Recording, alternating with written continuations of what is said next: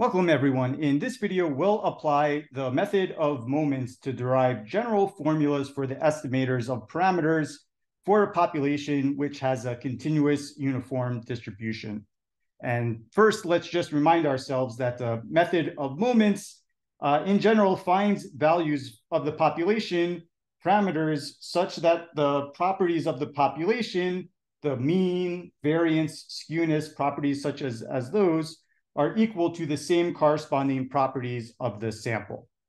And so that can be implemented in a three-step process, which is outlined here, where um, after we've picked a sample, in this case of n different values, x1, x2, up to xn, we first calculate the sample moments, um, m1, m2, up to mk, then we calculate, we find formulas for the theoretical moments that we denote mu1, mu2, all the way up to mu k.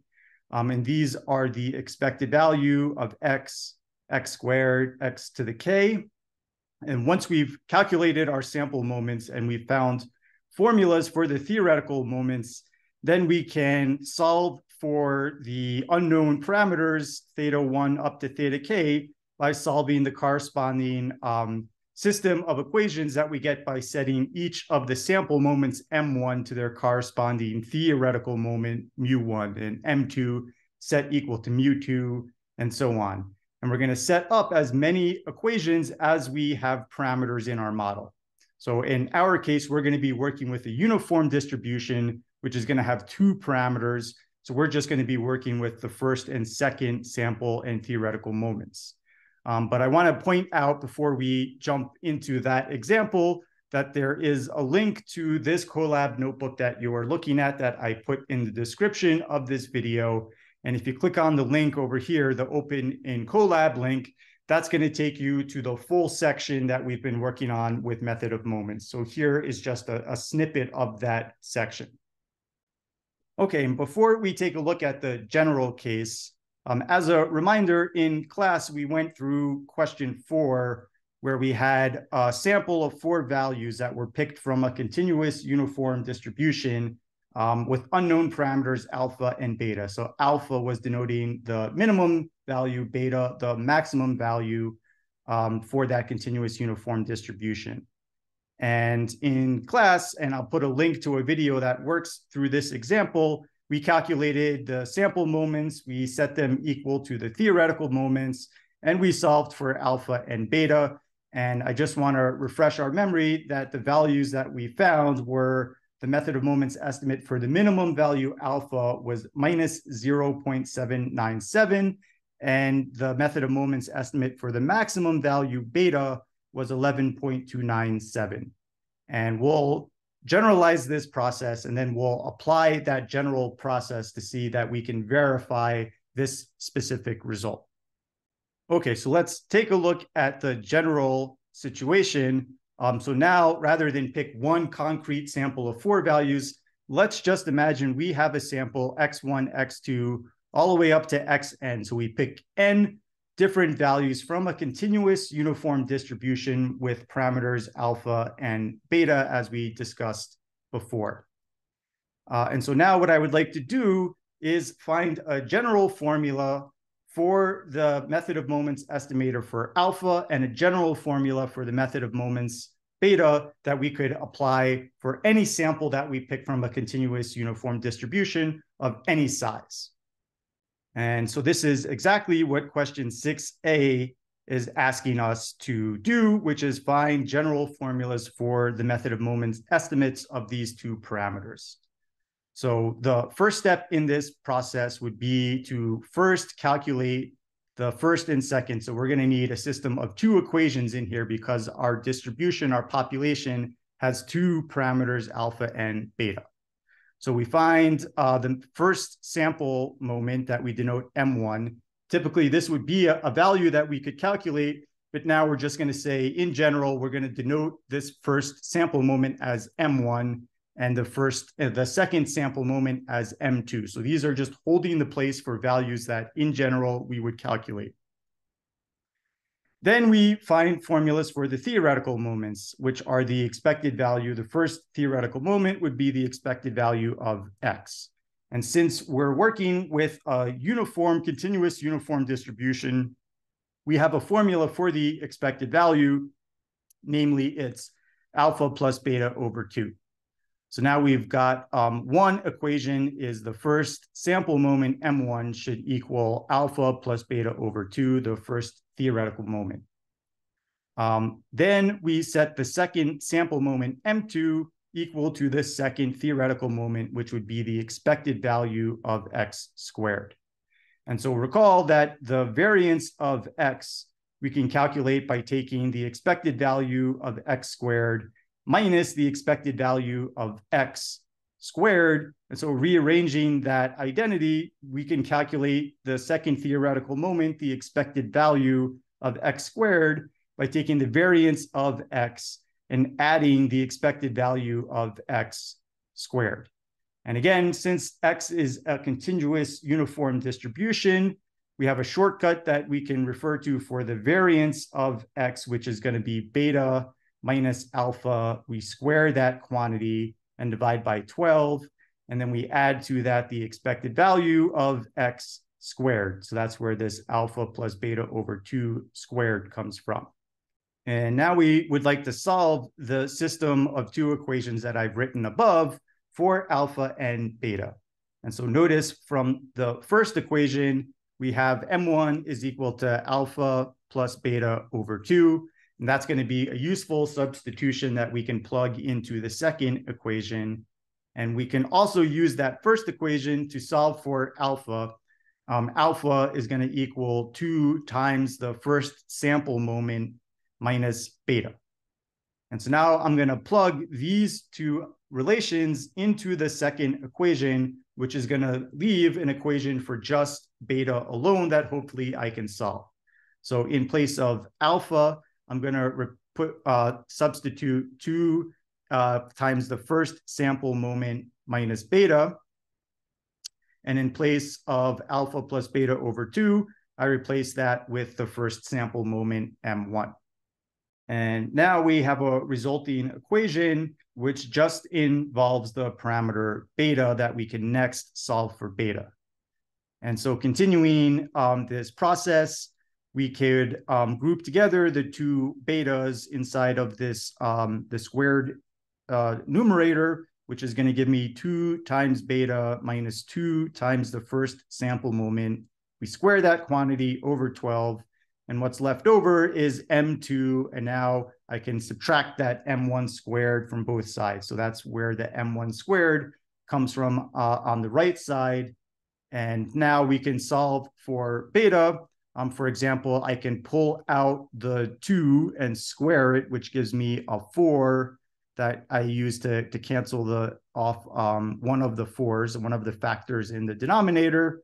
Uh, and then finally, we could multiply both sides by three, uh, take the square root, and then add m1 to both sides. And this gives me a solution of the form beta is equal to m1 plus or minus the square root of 3 times the square root of m2 minus m1 squared, where m1 and m2 are the first and second sample moments. So I have a, a plus or minus here, and that's because uh, at some point in this process, I took the square root of both sides. Um, so beta should just be a unique value. Um, so we'll, we'll kind of just leave this on the side for now and um, just note that it's something we're going to need to resolve. Next. We would want to similarly solve for the parameter alpha. And so I could take what I just found for beta and plug it in um, up top to this relation that we had between alpha and beta and solve for alpha, which is one way that we could do it. Um, I'm going to apply a similar technique um, in order to solve for alpha.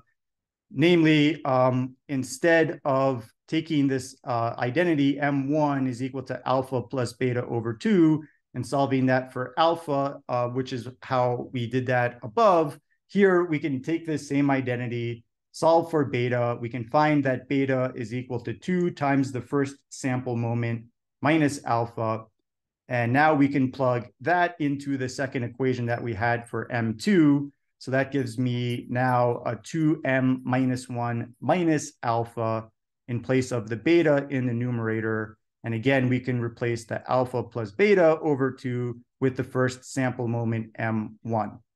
And now I've got an equation which just has the parameter alpha in it, and the algebra to solve for alpha works exactly the same way. We kind of group our alpha on one side, uh, and I can subtract the first sample moment squared from both sides, and that gives me uh, the equation that we have over here. Um, and now if I factor out a minus 2 and square it, that gives me on the left side, I'm going to have alpha minus the first sample moment squared over 3. And on the right side, I've got the second sample moment minus the first sample moment squared. And now I solve for alpha and I get the same exact um, solution that I had for beta. And so now note that alpha is, the, is denoting the minimum value, beta is denoting the maximum value. Uh, so beta is larger than alpha. So I pick the negative one for the method of moments estimate for alpha. And I pick the, uh, the plus for the method of moments estimate for beta.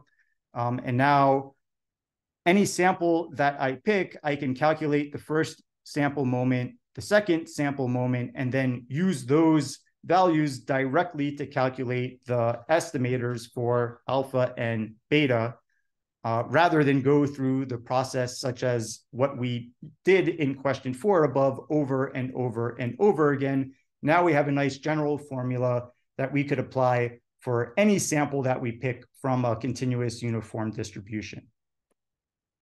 So let's do exactly that. Let's apply this result that we just found to the sample that we picked in um, question four, and let's verify the solution we found to question four earlier. Uh, and so that's what is worked out in question 6b. So I've got this code cell over here. Let me just explain what's going on um, in this code cell. So here was the sample of four values that uh, were picked for question four. So the first value was one, the second value was three, the third value was seven, and the fourth value in our sample was 10. And what the formula that we just derived in 6a tells us is that if I can calculate the first and second sample moments, then I can just plug them into these formulas in green above to calculate the method of moment estimates for alpha and beta. So uh, over here, we calculate the first sample moment. We sum up all of the values in our sample X uniform, and we divide it by the number of uh, the size of our sample, which in this case is four.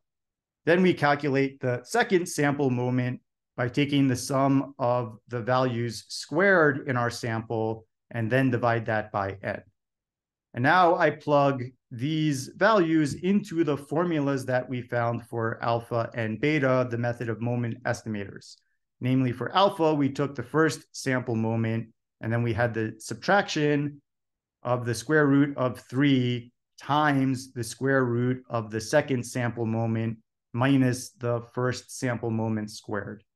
And for beta, it was a very similar formula, but now we put the plus sign for the upper uh, cutoff of the uniform distribution. And I'm going to run this code cell and let's check our results. So using the formulas that we derived in 6a with the sample that we picked for question four, these formulas are giving us the same exact estimates that we found in question four. So that's good. That means our work in question six and our work in question four is consistent. And once we've found our estimates for alpha and beta, I think a very reasonable question to ask is how good are these estimates? And without knowing what the actual values for alpha and beta are, the unfortunately the answer is we really have no idea how, how good these estimates are. Um, but we can consider the following. We can consider what happens when I pick another sample and I apply the same estimate for the parameters alpha and beta based on a different sample. And I can repeat that again. Let me pick another random sample, apply the same estimates for alpha and beta, and do this over and over and over again. And then we can take a look at the distribution of these estimates. And we can ask ourselves, on average, does it seem like the estimates are equal to the actual value of the parameter? So in other words, we can be thinking about sometimes the estimates are going to be too low, sometimes the estimates are going to be too high, but overall, if we average these out, are they accurate? And this is something that we could call bias when we're talking about the, the accuracy. And we can also ask, well, each time I pick a different sample, how much variability are we getting in these estimates? Are we getting values that are pretty similar to each other every time, or are these estimates changing drastically each time I pick a different sample? And that's getting at this issue of precision. So on your quiz, you're going to investigate these ideas. Uh, and to motivate that investigation, let's set up a sampling distribution for these estimators. So um, there's nothing to do in this code cell down below. You can just run it. Um, and what this code cell is doing is it's generating um, 1,000 samples of size 4 that we're picking from a uniform distribution. And now you can see what the actual values of the parameters were. The minimum value alpha in reality is 0, and the maximum value beta in reality is 11. Um, but we're going to pick a sample of size n. In this case, um, our n is 4. So we're going to pick a sample of size 4, calculate the sample moments, use those sample moments to come up with the method of moment estimates for alpha and beta for that sample. And then we repeat this 1,000 times over. And um, then we can take a look at the distribution of all of the different estimates that we get for alpha. And the actual value, um, the minimum value is zero. Um, the estimate that we got from the sample that we picked in question four was minus uh, 7.97. But now we can get a bigger sense of overall what are the different estimators are that we're getting and how much variability are there in these estimators. And this is a really huge variability here. Everything from like minus five up to eight, we're getting as the estimate for the minimum value. This is not very precise, but our sample size was only size four. It was pretty small. So that's why we have so much variability here. Um, similarly, looking at the distribution of estimates for beta, we have um, a sampling distribution here of the estimates for beta and we can compare the actual upper um, limit for the distribution was 11, and we got something that was just slightly bigger than that. And again, here we can see that there's a whole lot of variability in these estimates because our sample is pretty small. So questions um, on the quiz are going to build off of the ideas that we've discussed in this video.